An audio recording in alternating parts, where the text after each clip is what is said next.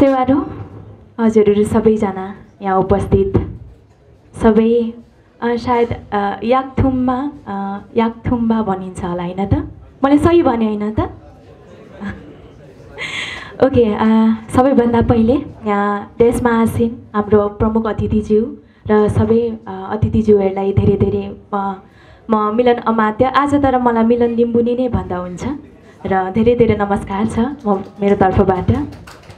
र यहाँ उपस्थित हुनुभएको सबै अतिथि महानुभाव र हाम्रो प्रेस प्रेसको हाम्रो जति पनि सोसियल मिडियाबाट आउनुभएको छ सबै मेरो साथी दाजुभाइ दिदीबहिनीहरूलाई पनि धेरै धेरै यो विष्णु इङनाम दाजुको जुन एल्बम छ सबै हाम्रो एल्बम भन्नुपर्छ यसमा।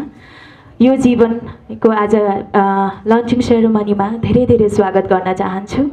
भनिन्छ नि कलाकारको कुनै सीमा भनौँ न भाषा संस्कृति कुनै सीमा हुँदैन। र त्यही भएर आज मलाई एक त मैले यो जीवनमा दाजुले विष्णु दाजुले मलाई दुईवटा त मैले गीत गाएकै छु तर त्योभन्दा पनि मेरो उपलब्धि के भएको छ भने मैले हालैमै म माथि बिलिभ गरेर मेरो दाजु विष्णु दाजु थ्याङ्क यू सो मच भन्न चाहन्छु हजुरलाई।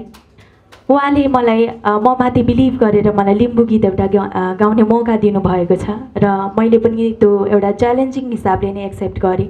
सायद कति निभाउनु सकेँ सकिनँ मलाई थाहा छैन हजुरहरूले नै त्यो अन्दाजा लाउनुहुनेछ। र आज यसै पनि म अलिकति राम्री नै देखेकी छु होइन किनकि तेह्र थुमै ढाकाले निरु दिदीले राम्ररी सजाइदिनु भएको छ मलाई।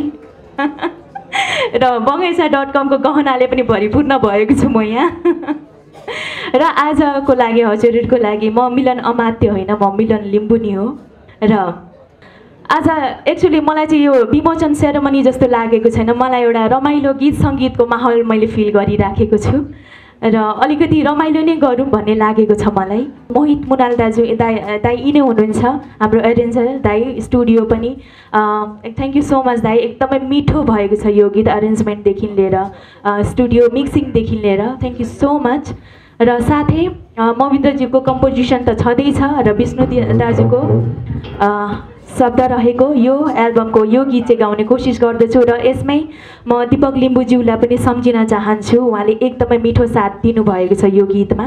र यो गीत तपाईँहरूको लागि एकपल्ट राख्न चाहन्छु। त्यहाँ पछाडि म हजुरहरूको लागि स्पेसली म लिम्बू गीत गाउने पनि म कोसिस गर्नेछु।